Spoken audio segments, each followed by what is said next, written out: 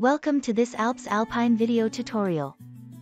I am very pleased that you have decided on the new RS1000.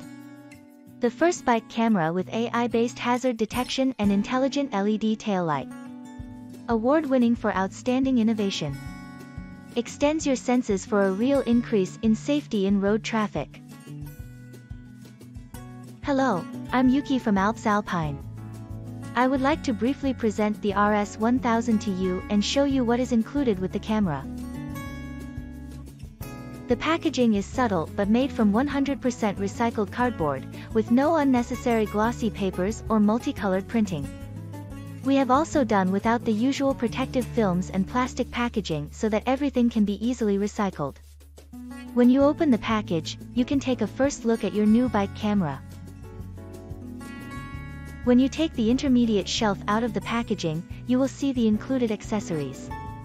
But let's take a closer look at the RS1000 first.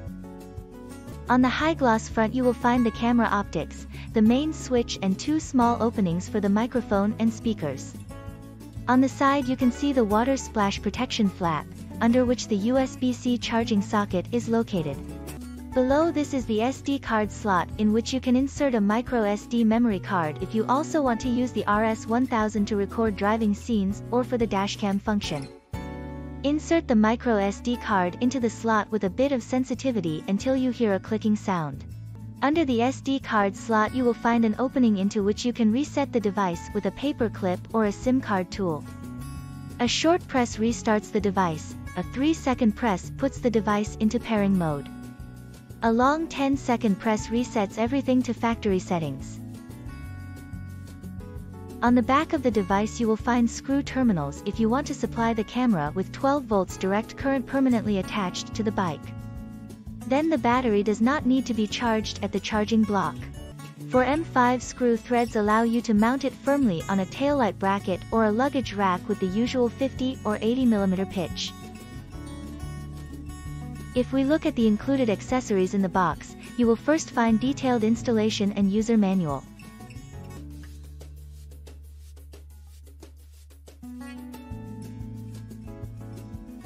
A USB-C charging cable lies beneath.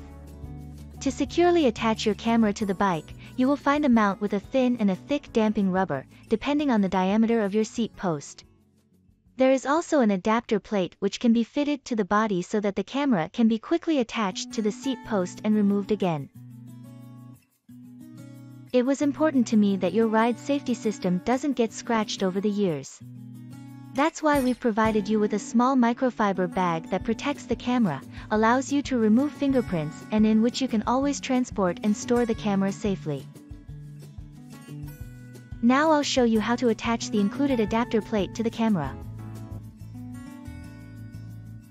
Position this on the back of your RS1000. It only fits in one direction. Use the four Allen screws provided to tighten the adapter plate hand tight so that it is firmly connected to the camera body.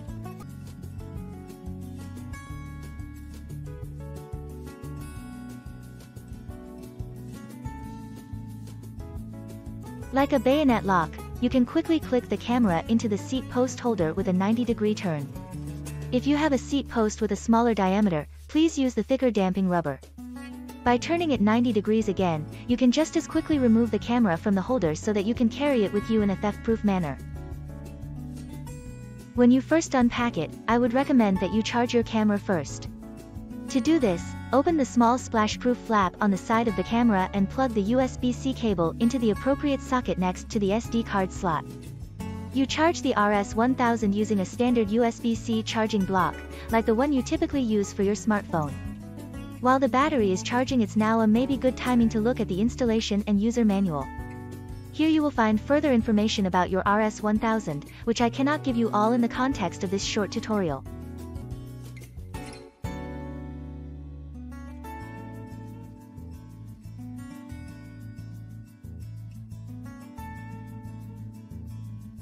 The charge status of the camera battery will be displayed to you after a short measurement. The fuller the battery, the more lights on the four sides of the camera shine brightly. Currently you see one and a half out of four glowing brightly, meaning one is solid, and one is flashing, so the camera is just under a 50% state of charge.